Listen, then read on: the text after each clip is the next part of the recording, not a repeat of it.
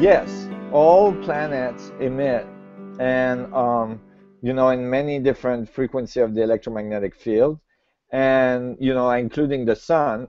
For instance, the resonance frequency of the sun and the, the sound that it emits, it can be listened to. I think the recordings are on the NASA sites, and you can hear it hum. You know, this like low pitch, like it sounds like this. It's really, really incredible.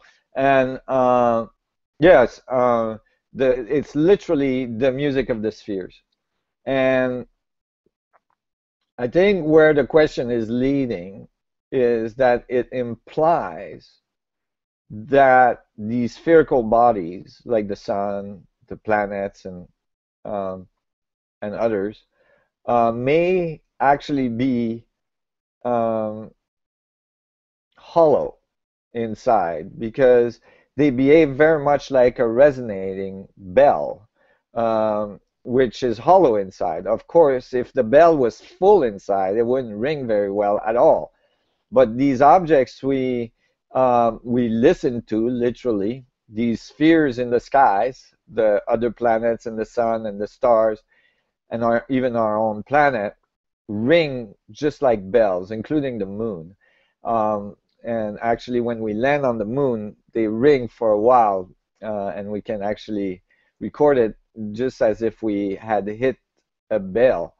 And um, and so um, you know that actually match some of the models I've been making of uh, planetary expansion including solar and galactic expansion and universal expansion.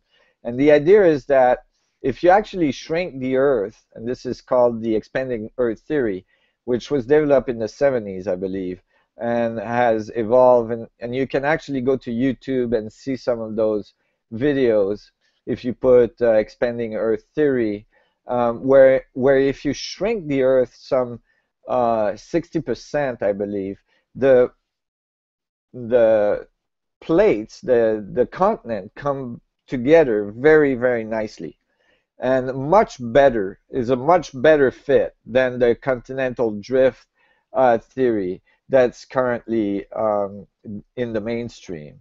And it's actually remarkable that it is not being considered um, more seriously by uh, geologists and and uh, planetary scientists uh, because it's such a perfect fit um, and it matches better the dynamics, the physics of a spinning body in space. That that uh, that the continents would not all drift to one side and be lopsided or or drift to the poles, but actually that um, that the spherical bodies would expand.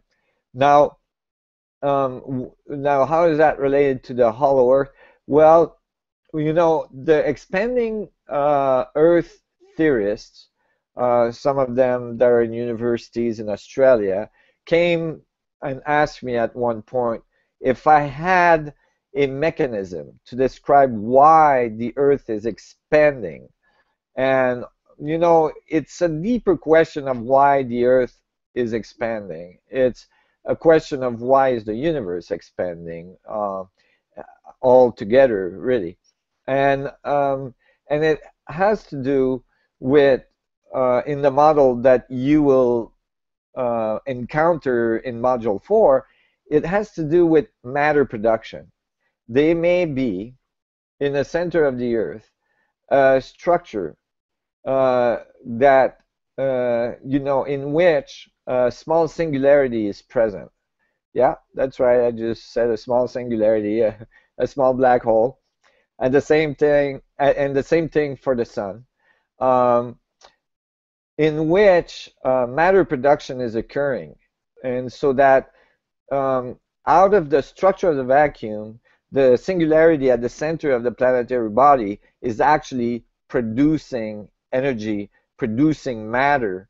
Uh, and that matter is being uh, pushed against uh, the uh, a very uh, large shell uh, around it. So, so, so the hollowness of the Earth may be quite small it, relative to the size of the Earth, and the same thing for the Sun. But the result of the mass of the black hole in the middle and the mass of the shell is the mass of the earth so the earth behaves exactly the way we see it and so when you when you say to a physicist the sun is a black hole he'll say no because if it was it would have to it would have to obey the Schwarzschild condition. It would have to be some 18 kilometers in diameter, and that's not what we see. The sun is much larger than that. But that's all true if you assume that the sun is homogeneous.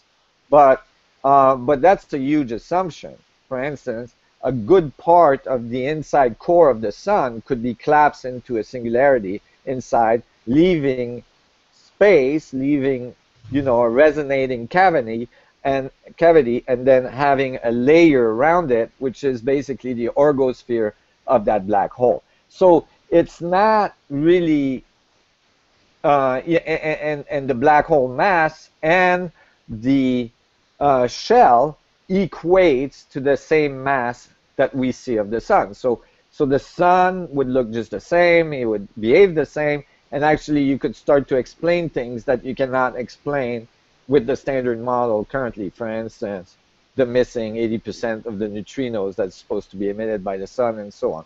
So all that to say is that um, there's a different model of planetary bodies and and uh, solar and planetary formation that has to do with uh, uh, the structure of space-time producing singularity, producing small black holes, which I eventually prove are at the center of atoms as well, in the nucleus of an atom, in the proton. And so it kind of starts to give you a scale relationship of black holes. And the, and the atom is very much that, a shell with a singularity or with a, with a, with a nuclei in the middle. So you, you even compare it to that. And that's really kind of, it might be jarring for uh, some people to hear this. It's very much different than what's taught currently today, but it has a lot of merit. And I assure you that uh, some of the math I've been uh, writing supports this very much. For instance, um, the idea that the magnetic field of the Earth is produced by a dynamo effect inside the Earth is um, not easy to reconcile with the strength of the magnetic field. If you calculate the surface magnetic field of the Earth, and then uh, move inwards to calculate the source of that uh, magnetic field, then when you, in order for it to be that strong on the surface, because the magnetic field drops as a square of the distance, and and when it's very high, actually in the, in the higher rates, uh, uh, the cube of the distance, but um, the the magnetic field in the center of the Earth would have to be extremely, extremely high. In fact, uh, it matches what you would expect if you had a small singularity in the middle of the Earth. So all these things support this view, uh, including the fact that the spheres are singing out there.